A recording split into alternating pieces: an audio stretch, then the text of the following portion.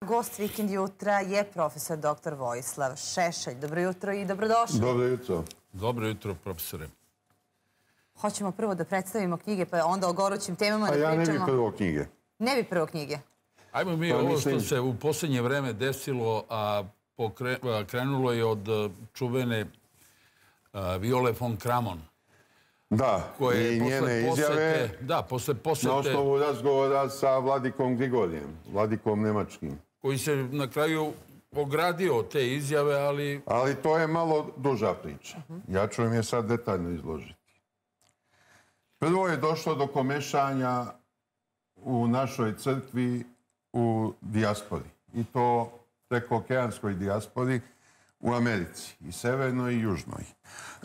to je predvodio episkop Irinej Dobrijević, koji, ne, koji je inače rođen u Americi i koji je pokušao da naših pet eparhija podvede pod svoju direktnu kontrolu. Inače, kod njega je otvorena afera oko obnove hrama Svetog Save na Manhattanu, u samom centru Njujorka.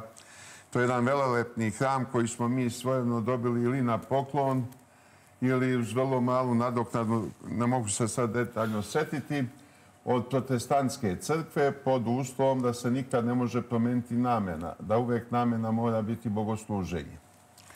I ta crkva je iz dosad neutvrđenih razloga izgorela. I cela dijaspora, a i mislim i otačbina i crkvena centrala iz Beograda, skupljali su pare da se ta crkva što pre obnovi. Prva je procena bila valjda 5 miliona i 600 hiljada. A cena obnove je stigla do 8 miliona. Porasli troškovi. Postavlja se pitanje ko se tu sve ugrađivao. I onda je krenuo u akciju Irine Dobrijević da na izvestan način odvoji prekomorske crkve od Patrijašije u Beogradu. I formirao je parhijski savjet u koji su ušle jedna vladika, jedan vladika iz Kanade, to je Micofan, trojica vladika iz Amerike, pored njega to su uh, Longin, ce, e, uh, centralno-srednji američki, kako li se to zove, i zapadnoamerički Maxim. I vladika Buenos Aires i cele Južne Amerike. Onda je Patrijaša insistirala da to ne može da se pravi sa vladikama koji nisu sa prostora Sjedinjenih država. Vladike sa prostora Sjedinjenih država imaju pravo da se konsultuju na određen način da li u istim uslovima. Ali šta ima tu da se povezuju sa vladikom iz Južne Amerike i vladikom iz Kanade? I oni su to prihvatili. Išao je i bivši patrijarh Irine povodom toga u Ameriku. Ali je opet zapinjao Irine Dobrijević, I sad je u sprezi s nekim američkim advokatima došao do formulacije da je Srpska pravoslavna crkva u Americi monovlasnička korporacija. Umesto da je crkva kao takva vlasnik sve svoje imovine, kojom onda upravljaju crkveni odbori, crkveni savjeti, on je došao na ideju da sve prisvoje vladike da je vladika kao pojedinac vlasnik cele crkvene imovine. I to je u crkvenim krugovima veliku budu izazvalo. Kad je video Veselja i Dine, odmah se vladika Longin distancirao. Posle toga se distancirao i vladika Maksim i ostao je sada Irine Dobrijević usamljen. Juče vidimo današnja štampa o tome piše. Juče je on bio na sastanku sa predstavnicima sinoda i navodno je sad prihvatio sve sugestije sinoda, ali vidjet ćemo kako će to dalje ići. Jer njemu ako nastaje ovako da se ponaša, preti smenjivanje. On ne može ostati onda na vladičanskom... Pa kako i pretek u ovom trenutku posle tako mislim? Pa dobro, nije bio izveden još na crkveni sud, zato. Nije ovdje bio, ovdje je bio cilj razgovor da se razjasne pozicije i da se razjasni može li se to vratiti u normalno stanje bez nekih teških crkvenih mera. Ako ne bude moglo, onda preostaje crkveni sud. A na crkvenom sudu mu se onda ne piše dobro. Iako ima pravo i advokate da dovede da ga brani, neće se dobro provesti. Pa ne može se odbraniti i neodbranjiti. Jeste, svi su kanoni sasvim jasni. To je imovina Srpske pravoslavne crkve. Sad jedna preteča opasnost je Vaseljenska patrijaršija, koja je sužena na uzak prostor takozvanog fanara. To je jedno predgrađe, jedan deo Carigrada. I ona je još nadležna nad Svetom Gorom, na svim manastirima svetogorskim i to je sve. A neprekidno je težila da ima što veću djecezu i pritiskala je druge pravoslavne crkve da njoj bude počinjena cela imigracija. I to nijedna crkva nije htjela da prihvati. Onda je krenula sa formiranjem američke crkve u samoj Americi. To je čak bilo i zabludeli Srba koji su mali, e, prvi mak pristali. Ja sam jednog poznavao i ubeđivao sam ga da se vrati majci crkvi. Da je to sve divlje iz političkih razloga i da to ruši Srpsku pravoslavnu crkvu. A to je bilo vreme takozvanog raskola prekomorskog, kad je Srpska crkva bila razjedinjena i kad su silne milione oba krila trošila na međusobne sukobe, na sudove, na advokate kad je došao patrijar Pavle na patrijaršijski tron, onda je suko prevaziđen i crkva je ponovo ujedinjena. Sad bi ovo značilo neki novi raskol i to treba u korenu saseći. Vidite, ta Vaseljenska patrijaršija inače podivački deluje u drugim pravoslavnim crkvama. Patrijarh Vaseljenski je dao tomos ovim odmetnicima, otpadnicima iz Ukrajine. Srpska crkva ostala dosledna, ona e, podržava Ukrajinsku crkvu Moskovskog patrijarhata. Ta crkva ima autonomiju, ima svoju mitropoliju, ali je ipak ostala u sastavu Ruske pravoslavne crkve, patrijarha sve Rosijskog. Što se tiče ovog nesečnog Georgija, Vi se sećate koliko sam ja kampanju proti njega vodio, jer je on... Ne, iznosili ste neke činjenice. Teo je da nasilu postane patrijarh, ako mu to ne uspije da bude kandidat za predsjednika Republike. Ja sam iznosio činjenice koje su ga razarale u više televizijske emisija. I evo, sad sam objavio knjigu pod naslovom Glavni švaler za crkvene pare Grigorije Durić jedan, jedna knjiga poklon za tebe, jedna knjiga poklon za tebe, Hvala, Jelena. Hvala, Aleksandra. Aleksandra, stalno menjaš imena pa ne mogu da zapamtim sve. A i za tebe jedna lepa kesa, najlepša. Jeste, imam već jednu, ali e, pa sam zadovoljstvom hoću. Hvala. E, šta je sad slučaj sa Dulićem? Dulić je video svoju šansu u ovome da krene putem koji su krenuli ovi bili iz Amerike. Zapravo kojim je krenuo Irine Dobrijević. I on je imao taj razgovor sa Violom von Kramer koji je ubedio da Srpska pravoslavna crkva ne postoji, da nije jedinstvena, da svi episkop imaju vrlo visok stepen autonomije.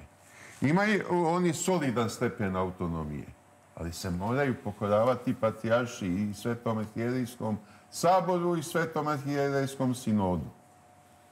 Dakle, nema pravo da vodi samostalnu crkvenu politiku. A on je izgleda procenio da su se stekli sad uslovi da on odvoji Nemačku eparhiju, koja je najbogatija u Evropi. Tamo je najveći broj naših gastarbajtera, čak i ljudi iz stare emigracije, Srba koji su se inače preselili tamo da žive. I ta eparhija ima veoma visoke prihode.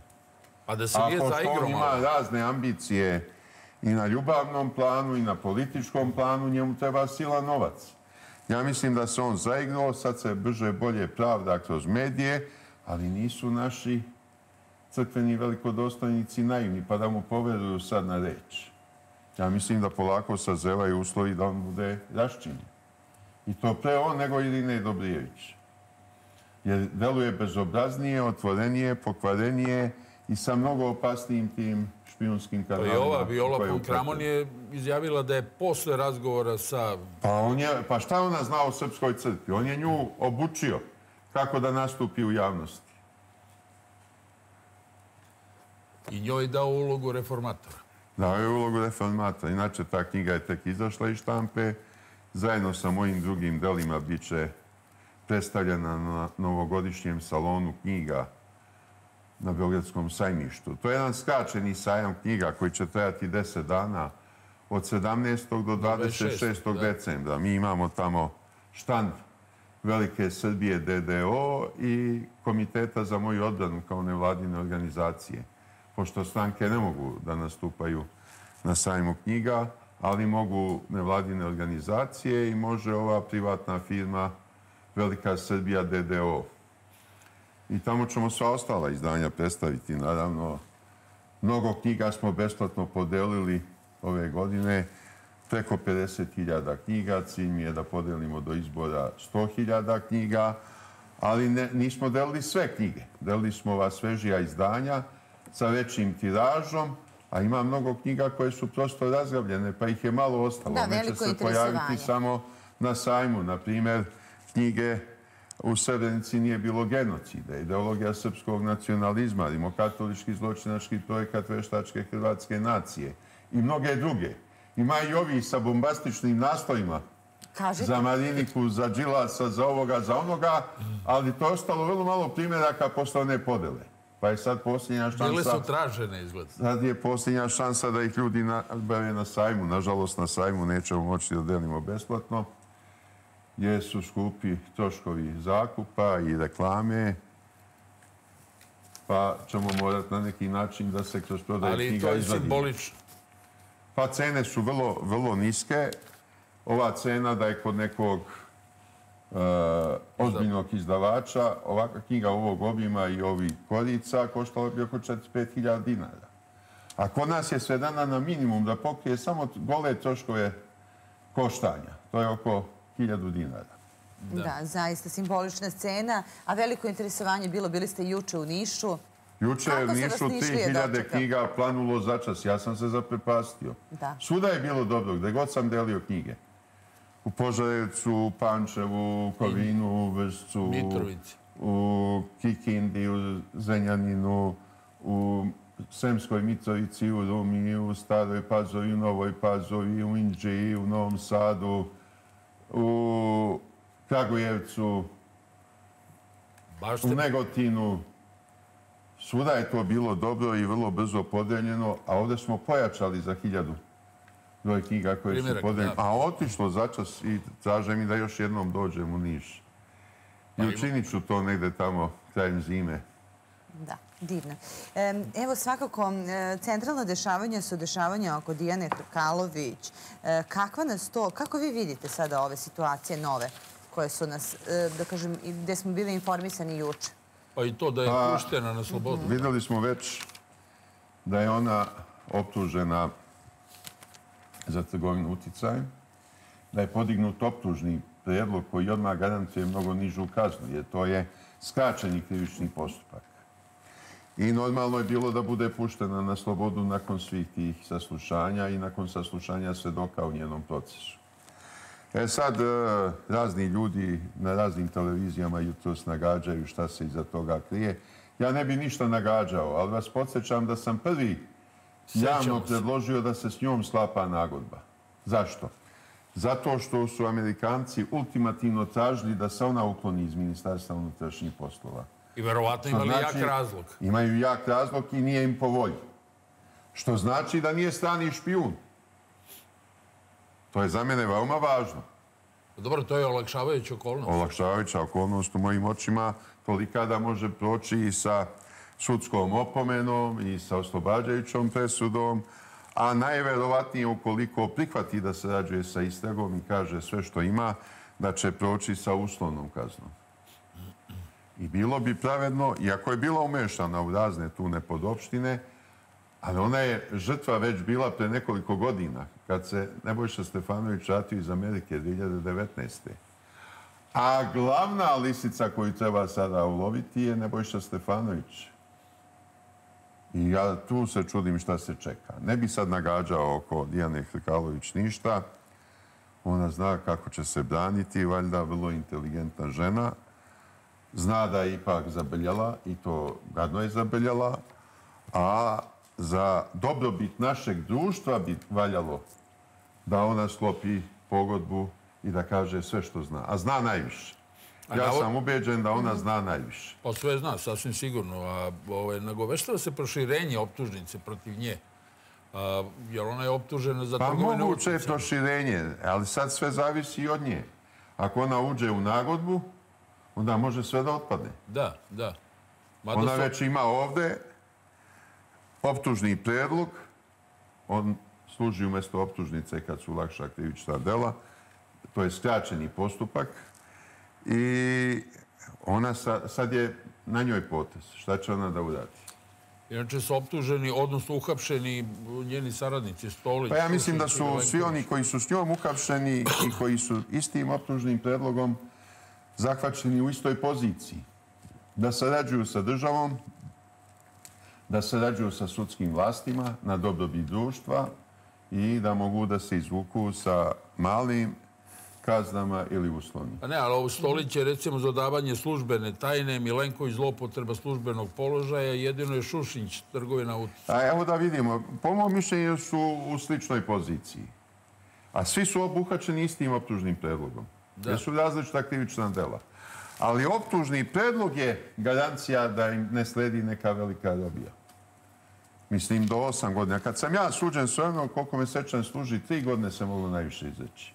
Pa mi neki advokati sad rekoše pet godina, pa mi jedan advokat malo prereče do osam godina. Do osam godina, tako. A ja još nisam stigao ovaj novi zakon o krivičnom postupku da pročitam, da vam iskreno kažem, mrzi me, jesu da ima napravili od srpskog krivičnog zakonodavstva.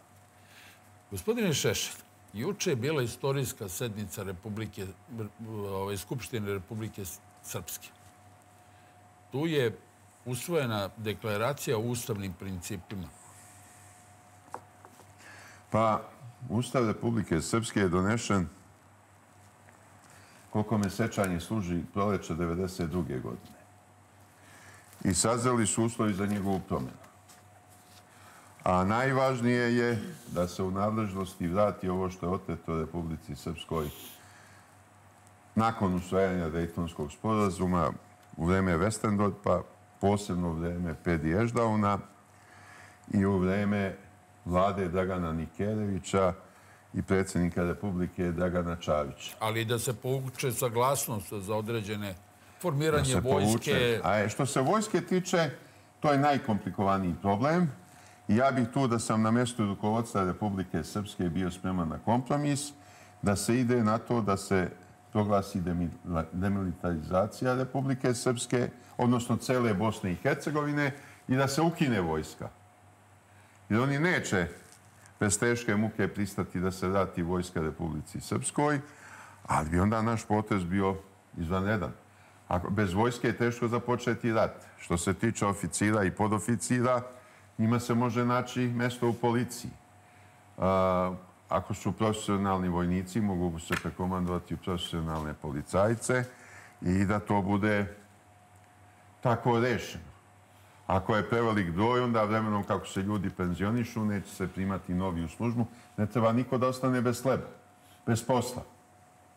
Ali bi to bilo vrlo dobro rešenje, onda ni muslimani ne bi imali vojsku, ne bi ni Hrvati. E onda bi sile garanti Dejtonskog sporazuma obezbeđivale mir. Obezbeđivale mir. A to su Amerika, Rusija, Velika Britanija, Francuska, Nemačka, valjda, i Srbija i Hrvatska.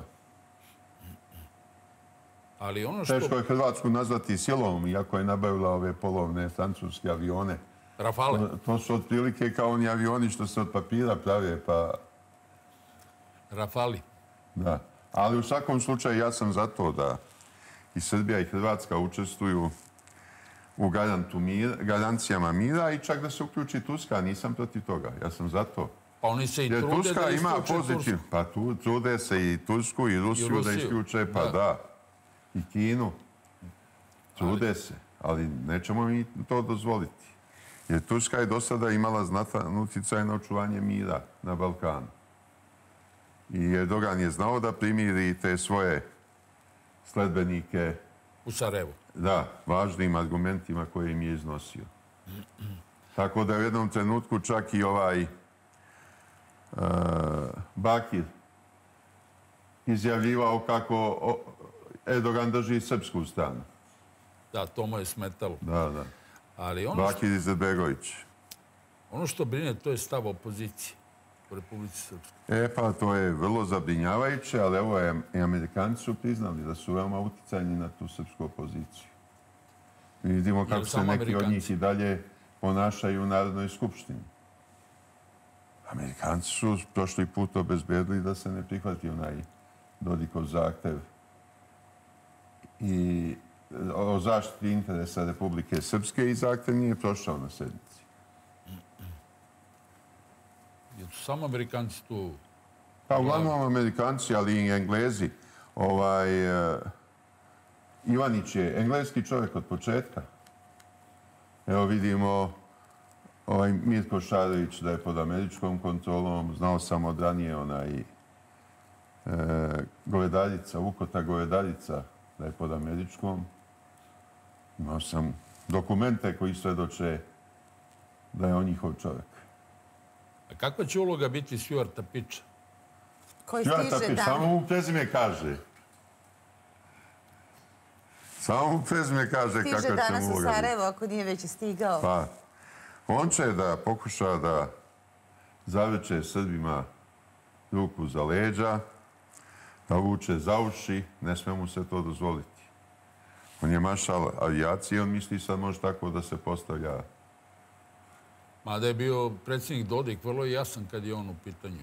Pa bio je jasan i prema ovom Šmitu, kako se zove. Ovaj. Jest, i prema Šmitu da, i zameniku Šmitu. Da, da. Bio je jasan i prema Amerikancima. Ne, Mogu naravno. biti jasniji. Ali vidite sad se šta se jedna nova podvala podmeće u javnosti. Kažu, Vučić hoće da otpiše Dodika. Da, A nije da, Vučić da. lud da to uradi. Da. Kod on ne zna da je on prvi sljedeći na redu. Mora da čuva Dodika. Pa dobro, to je Sve dok Dodik vodi patriotsku politiku, a i, a i Dodik ne sme, ne sme da bude tako arogantan, mora da odmeri svaku reč. Ne sme ovako da se ponaša, kao Jeste nekad u Skupštini. Pa ne sme tako, toliko brutalan da bude. Ja mogu je sam opozicionar, ali on ne sme. Zato sam se nasmijao. Kad mu vi stavljate primjedbu za brutalnosti, ovaj... Pa nisam ja brutalan, ja sam po prirodi vrlo nežan čovjek. Ne, po prirodi verujem, ali ovako verbalno. Da, da. Naveli smo sa prošlim gostima neko razmišlja i neko misli e, da bi moglo da bi moglo da eskaliraju novi sukobi na području federacije. Šta vi mislite o tome? Na području federacije tinja sukob između muslimana i Hrvata. Jer su Hrvati najviše obespravljeni. Ostali su bez svoje jedinice Republike Herceg Bosne. To je već urađeno Vašingtonskim sporazumom koji je nametnuo Clinton da bi prekinuo rat između muslimana i Hrvata. I sada Dejtonskim sporazumom njima je predviđeno da budu ravnopravno zastupljeni sa Srbima i muslimanima u predsjedništu Bosne i Hercegovine, da imaju jednog člana. Ali oni nemaju pravo da biraju tog Hrvata, nego, mu, nego im ga biraju muslimani. Kao, to je strašno. Kao Komšića što su izabrali. Pa kao Komšića. I ranije pre Komšića onog jednog. Da, ali evo sad su Hrvati recimo dali podršku Srbima posle ove sednice. Pa zato što, evo vidite, i Milanović je rekao da mu je dosta više tog proglašavanja Srba genocidnim narodom. Ne može to. Izjednačavanje Srebrnice i Jasenovca. Pa ne može to. To su mu opasno zamerili. Pa jesu, ali dobro. Ali to će sve više da izlazi u javnost. Nije u Srebrenici bio genocid i svaki ozbiljan pravnik u svetu zna da nije bio. Ja sam to dokazao na 3600 strana B5 formata potanko, uz ogroman doj citata i pozivanja na najveće stručnjake iste oblasti. A da li će biti provokacija kao vid pritisaka na Srbiju i u, Bosnu, i u Republici i u Srpskoj i, u, i u, na Kosovu? Ma bit će i u Srbiji samoj. Ovo što se sad dešava u Srbiji, to je vid pritiska na Srbiju. Ja mislim da je režim napravio grešku što nije rasturio demonstracije na mostovima i na vitalnim saobraćajnicama i obezbedio slobodu prolaza. A onda je Vučić mogao da ovaj zakon vrati, jedan zakon da vrati na ponovno glasanje, pa neće biti izglasan, a za drugi zakon da naloži svoje partiji da spremi amandmane. Da ne ispadne da je ovo urađeno pod pritiskom. Ja sam svestan ovih nedostataka unutar zakona. Meni je najveći nedostatak sadržaj ustavnih amandmana i o tome sam više puta govorio.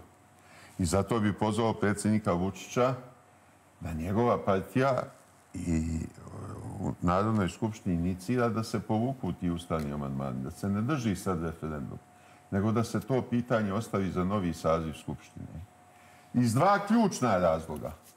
Prvi je razlog što mi ne možemo izgubiti legitimitet sudske vlasti. Sve tri grane vlasti moraju imati legitimitet. Ovim ustavnim amandmanima se uskraćuje legitimitet sudskoj vlasti. Ona je neki perpetum mobile koja sama sebe obnavlja. Ne može to da opstane. Ako ne može u Nemačkoj, ne može ni kod nas. Dajte da imamo rješenje kao Nemačka. Evo, najmoćnija sila unutar Evropske unije, kako ona ima rješenje za izbor sudija, da bude i u Srbiji. S tim se slaže. A ako sudije da nemaju nikakav izvod u narodnoj volji, nemoguće. I drugo, što je veoma važno, ova skupština je jednostranačka, praktično. Možda to Vučić nije želeo, ali to se desilo posle svih... Objektivno nije kriv zbog toga. Pa, dobro sad. Krivi su i ovi što su bojkotovali. Ima tu raznih krivica. Ali bi bolje bilo da se nova, novi skupštinski saziv time pozabavi. I ozbiljnije. Pa dobro, u ostalom, ako se mi srpski radikali vratimo u skupštinu, da će imati tamo vrstne pravnike. Pa jeste. I Vjericu, Radetu i vas. Pa da, imamo još pravnika. Ima i podmladaka. Recite mi, gospodine... Prema tome, neće moći tako olako da prolaze neke gluposti. I da venecijanska komisija diktira, koja uopšte nije pravno telo, koja je grupa šalabajzera, znate što znači šalabajzer? Ja znam. Pa i ja znam. Šta? Pa ne bih sad da, mislim, nije lepa Postoji jedna skračenica za šašav lud blesav šalaba. A šalabajzer je od to šalab. Da, da, skraćenica. To je ujedno.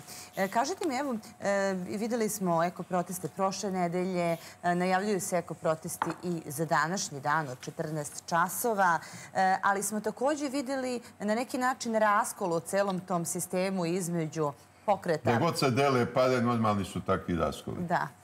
A pare dolaze Ali zašto sada ponovo... Pa i u porodicama. Pa nije u porodicama. i u porodicama. Zašto sada ponovo ekoprotesti kada je taj jedan uslovi zahteva e, usvojen? Pojavljuju se strašne nebuloze. Sad se izlazi sa zahtevima da se zabrani za uvek eksploatacija litijuma u Srbiji. Pa da se zabrane bilo kakva geološka istraživanja u Srbiji pa da se zabrani bilo kakvo rudarstvo u Srbiji ili rudarenje, kako rekoše. Rudarenje, ono sa bitcoinom, rudarstvo. Da, to je strašno. Naš predizborni program sadrži tačku. Ako dođemo na vlast, i evo odmah kažem to narodu, mi ćemo obezbediti da se eksploatiše litijum. Ali da se sačuva drina.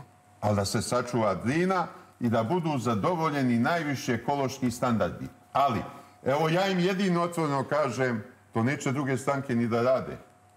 Mi ćemo eksploatisati litijum. Ili ako budemo kao manjinski partner učestvovali u nekoj vladi, jedan od naših glavnih uslova će biti litijum mora da se eksploatiše, ali po ekološkim uslovima koji važe za Nemačku. I da se ne izvozi? Ne da se izvozi litijum, nego da se ovde napravi fabrika baterija.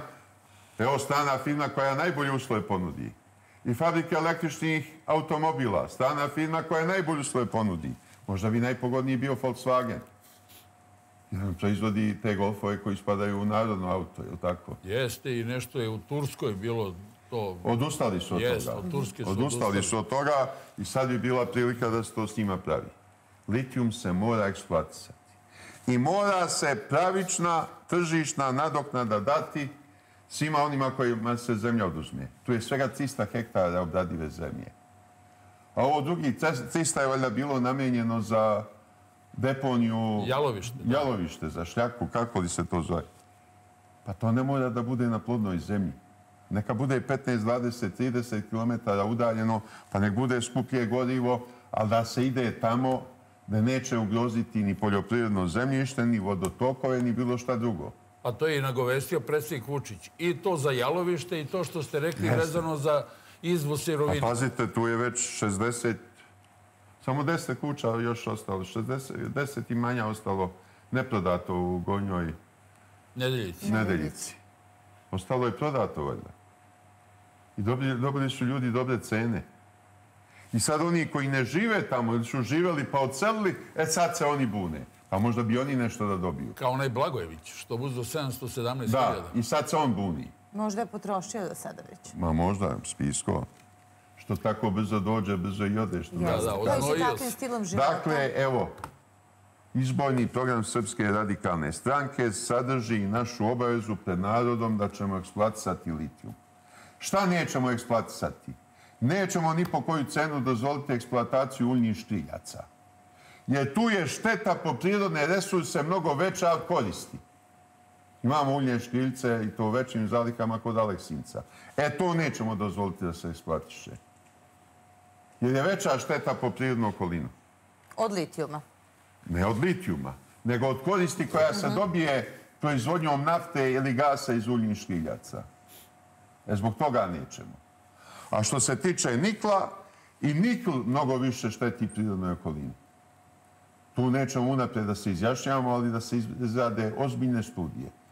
Jednom je onaj nesečni bivši ministar Bačević to izjavio, pa ga sa svih strana obuhvatiše učuta jedan ode u ambasadore. U Kinu? Da. To treba da se precizno odvaže.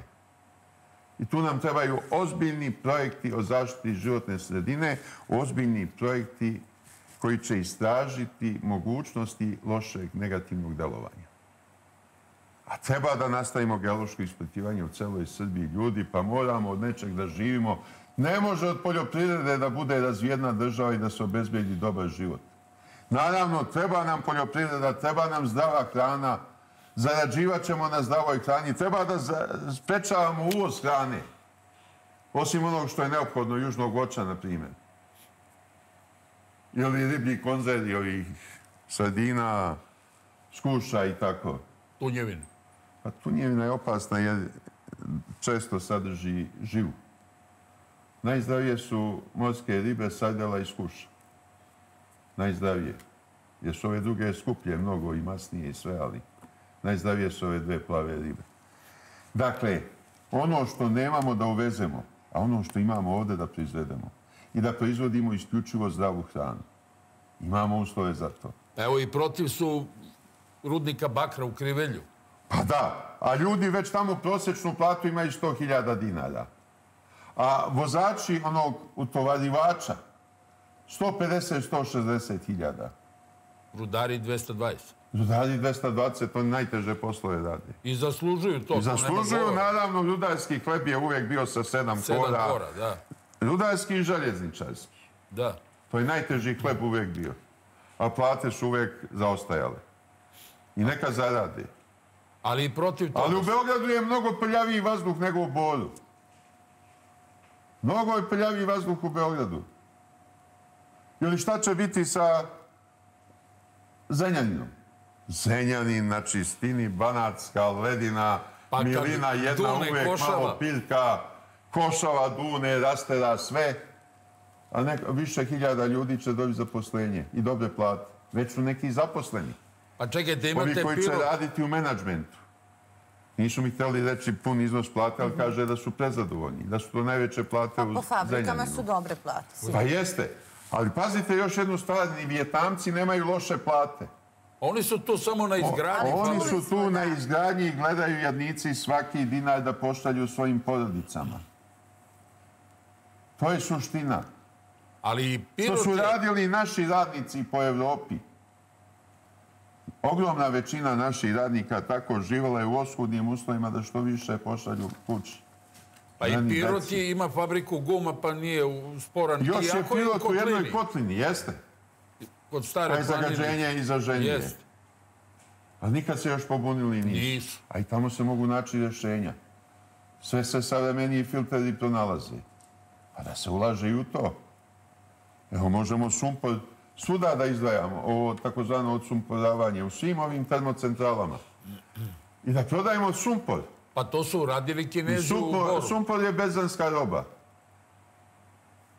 Naravno, idealno će biti kad mognemo da izdvajamo ugljik, ugljenik iz ugljen dioksida. Ali to je veoma teška tehnologija. Veoma skupa, skupa tehnologija. Skupa, Kao što je skupo izdvajanje vodonika, vodonika iz vode. Iz vode da. Elektroliza vode. Ona je mnogo skuplja nego što se zaradi sa gorevanjem. Skuplja dara nego mera. Jeste, za sad. Da. A neće uvijek biti tako. Kad se ova termonuklearna fuzija bude mogla koristiti za ovakve stvari i desalinizaciju slane vode, onda će sve biti drugačije. Ali sačekajmo i taj naučni razvoj. Naša generacija možda neće dočekati, ali i mlađi će dočekati. Naši unuci. Da. Kaže, treba na vetrenjače ići, treba ići na sunčanu energiju. A šta kad prestane vetar?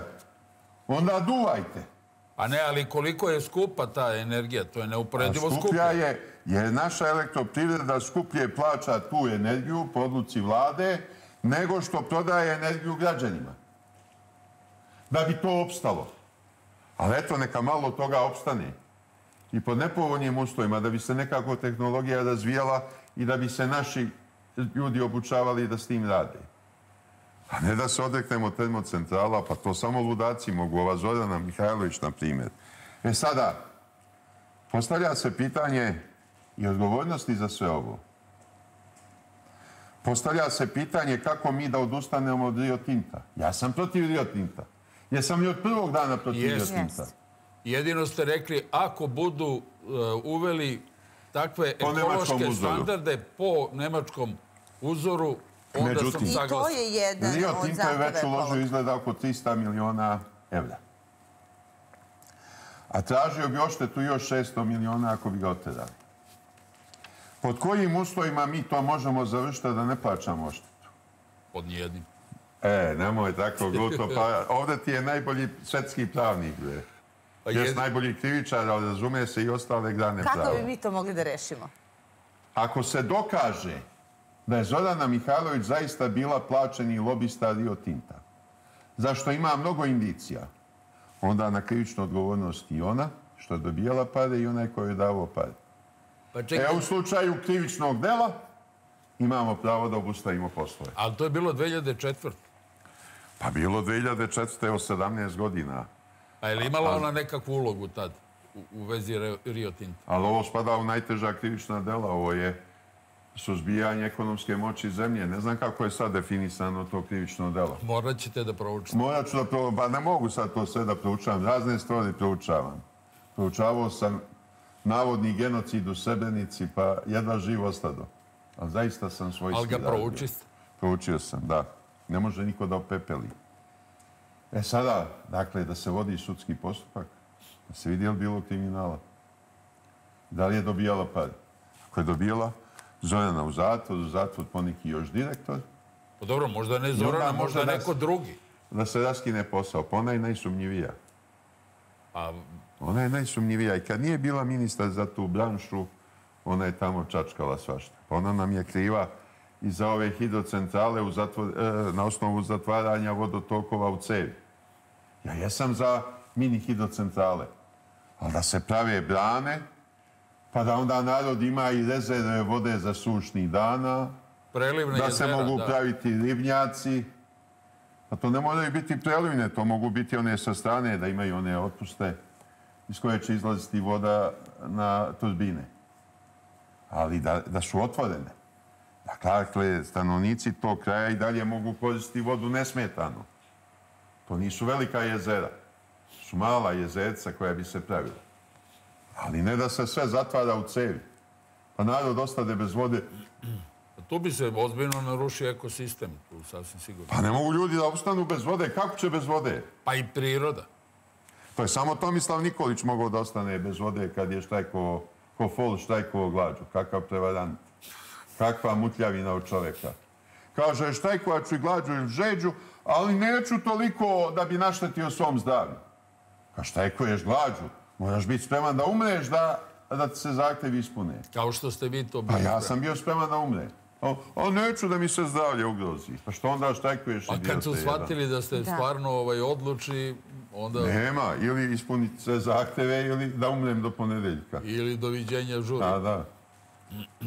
Kako očekujete da će se... Dobro, tu je zagrnulo Rusko ministarstvo inostranih poslova, njihov podpadvol veoma žestokim rečima je reagovao i tad su mi ispunili sve zahteve. Ali su vidjeli da ste... Možda bi me i pustili da umrem, jer jedan problem manji. Koliko dugo ste bili? Ima, čovjek ima problem. Nema čovjek, nema problem. Ali veliki problem. Veliki problem. Koliko Najveći. dugo ste bili? Evo da nas podsjetite. Šta je glađu? 28 dana. Potpuni šta je glađu. To je zaista jako teško za organizam ljudski. Pa dobro, to je meni bio treći štajk u životu, ostavio je posljedice. A zato sam pomalo gojazan, jer sad organizam posle tih štajkova uvijek gleda na neku rezervu sačuva. Ne zna šta će da vam padne na pamet. Ne zna opet, da. Neće više, nadamo se. Neće luda glava da ga odvete. Nisam e, rekao luda glava. Šta možemo da očekujemo? Pazi, kad čovjek štajkuje glađu, sva glikoza ide u mozak. A on se jedini... Na račun svih organa. Svi organi stradaju, samo mozak uvijek ima dovoljno da čovjek ne umne. Pa on je glavni motor. I mozak funkcioniše kao nikada. Jer se hrani čistom glikozom. Kao nikada.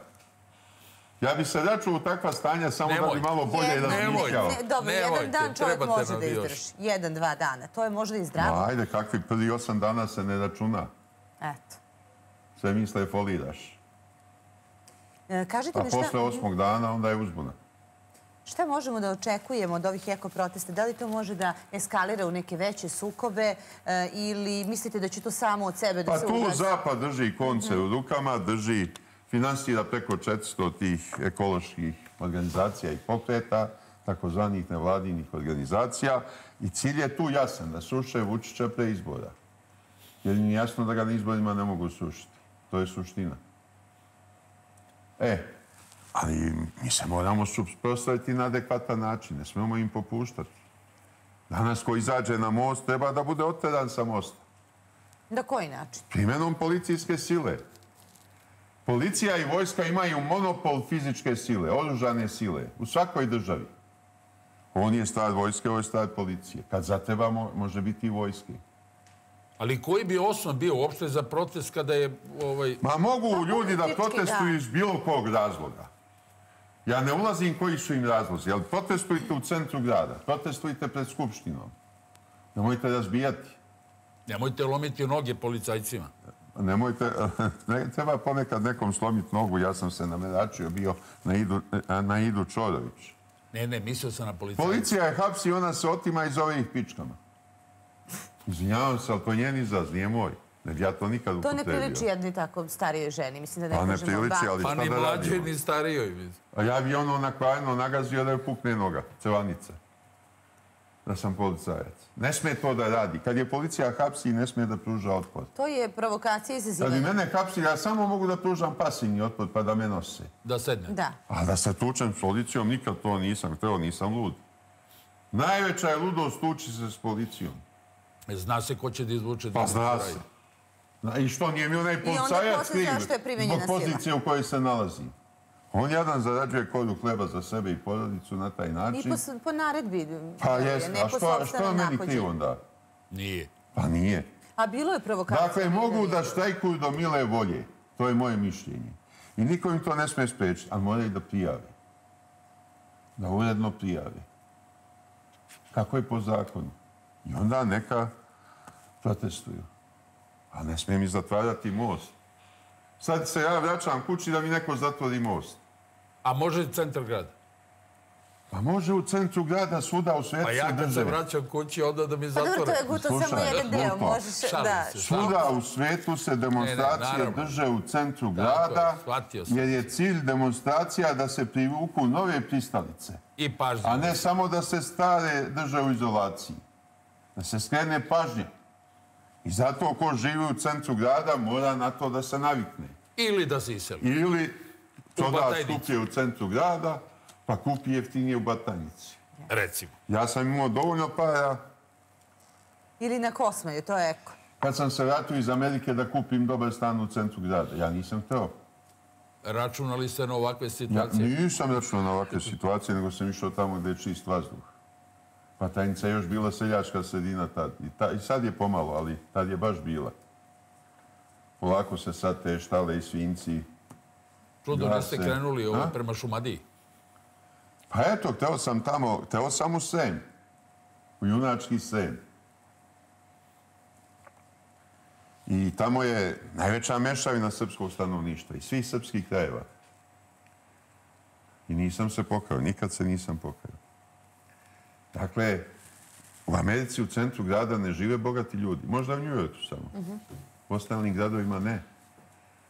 Što je čovjek bogatiji, to više traži da je na periferiji. Uh, u centru grada živi samo najveća sirotinja i crnci. I zato su crvene zone centri grada. Da je najopasnije kretanje. Da. U Vašingtonu čak. Najopasnije je u najužem centru grada. A po vašem mišljenju, ko bi mogo da se stavi na čelo ovog dela opozicije? Pa ne znam ko će da se stavi. Đilas je ubeđen da je on... Đilas ne može, Đilas je ispušena lula. Da. Ne može niko od tih takozvanih opozicionara. A ne znam ko od ovih ekologa bi mogao. Svi se na neki način kompromituju. Malo, malo pa se kompromituju. Kreni po Ali Amerikanci na tome intenzivno rade. I kad pronađu tog novog, onda će sve pare na njega vložiti. Kao u svoje vreme, znamo. Na koštunicu, da. A tu su krivi socijalisti. Jer su ga e, tetošili, negovali godinama i u odlučnom trenutku on im zaprži čorbu. Zaprži svima nama, celom narodu, pa da. A Savo Manojlović kreni pokreni? Pa šta je to cirkuska predstava? Ali evo i oni Zelenović, na primjer, I oni su odustali od eko proteste. Pa eto, neki koji imaju malo više mozga su odustali. Oni koji nemaju, nastavit će. Ali ja mislim da se oni moraju ukloniti sa mostova i sa obračajnica. Ali zašto mislite da se to ne radi? Ne znam, ne znam. Postoje stvari koje meni nisu objašnjene. A niste ni pitali? Mislim da tu Vučić... Pa kako da pitam? Da se prijavim tamo na šalter da me primi. A, vidite, mislim da je on suviše oprezan tu. Želi to da izbegne. Jer će onda još veća halabuka sa zapada da kreni. Ali ja bi po cenu te halabuke zaveo red. A ili bi bilo moralnog prava da nam nešto tu halabuku dignu? Posle... Oni uvek imaju moralno pravo za što god da urade protiv nas. Imajući vidu... Oni su imali moralno pravo da nas bombarduje, da, da nam decu ubijaju. Nema morala na zapadu. Jel ono, svedoci smo šta je bilo u Holandiji, Nemačkoj, Francuskoj? Pa da. Pa samo te metode, ništa, ništa drugo. Ne moraju dobijaju, ovi su ubijali. I, i ne treba, kad čovjek leži na zemlji, onda ga ne smiju tući. Tu sam i ja vrlo osjetljiv. On, on je imobilisan ako leži na zemlji. On nije više aktivni. I ne pruža otpor. Ne pruža otpor. Ili ako sedi. Onda ga uzmite dvojica, trojica, četvorica, odnesete ga. Strpajte ga u maricu, vozite ga gde hoćete, ali ne smijete ga tući. A onaj ko pruža otpor mora da dobije po tintari. A i provokacije. Po njušci, kako se to već dobija. Ali ovdje i to izostalo. Pa izostalo je sve. Izostalo je sve. I sad onaj koji je čovjeka osakatio, možda ga i bez oka ostavio, ne znam u kakvom je stanju oko onog čovjeka iz... Da, iz bagera. Utovarivača. Nije to bager, nauči. Da, utovarivač. Bager je ono što Znam. šljunak vadi sa dno reke. Kako bi to već to nama objasnio Velja Ilić? Ono što ima, ono, znaš, pa... Je li tako objašnjalo? Yes. Ove, ali mislim na kraju krajeva sećate se oni protesta ispred Skupštine kada su onom mladiću policajcu polomili nogu. Pa ne sećam se baš kome su nogu polomili. Jesu, policajcu -huh. jednom, mislim, baš ono kad su bili... Ali je prvo išao napad na policajce. Yes. To je činjenica. Konstantne su te provokacije. Pa dobro. Kad, ih, kad, su, kad su napadnuti, policajci imaju pravo da se brane. Ali onda ne mogu da prekorače ovlašćenje. Brani se dok traje napad. I hapsi ko te napo. Ako leži na zemlji, ne moj ga tući. Njega ga ne smiješ tući. Možda je već povređen, možda je već ranjen. Nemaš razloga da ga tučeš. Povedi ga. Ponesi ga. Slipaj ga u zatvor.